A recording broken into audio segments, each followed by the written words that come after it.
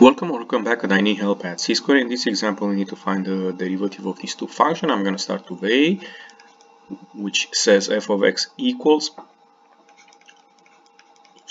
uh, fifth root of x and this radical form we can change in exponential form x to the power of 1 over 5. So now we can do the derivative of this function using this power rule because the derivative will be the derivative with respect of x of x to the power of 1 over 5 so now I'm gonna move that 1 over 5 the power up front in front of the expression and then keep the x and 1 over 5 minus 1 so in this case we have 1 over 5 x to the 1 over 5 minus 1 that is negative 4 over 5 the only thing I'm going to keep it here, I'm going to change it in a positive exponent. That will be f prime of x. Of course, you may want to change this one also in a radical form, 1 over 5.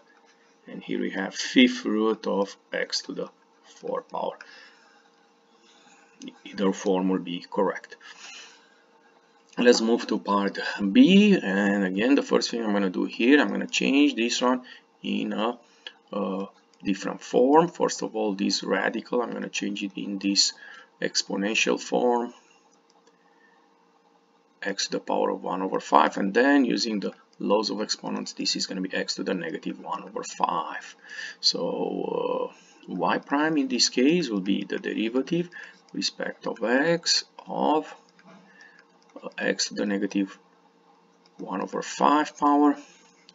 And here we're gonna pull that negative 1 over 5 up front. And then we have x to the negative 1 over 5 minus 1 and that will give us negative 1 over 5 x to the uh, negative 1 over 5 minus 1 that is negative 6 over 5 and now I'm gonna just rearrange, uh, change this negative exponent. First of all, I'm going to have negative 1 over 5 to the times x to the power of 6 over 5, which is a very good answer.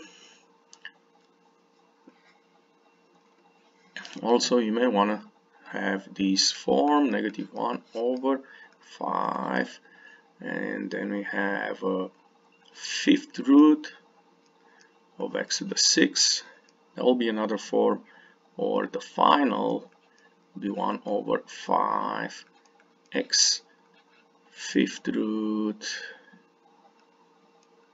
of x. So these last three forms are very good. If you enjoyed this video clip don't forget to click the like button and come back on c square for more help. Thank you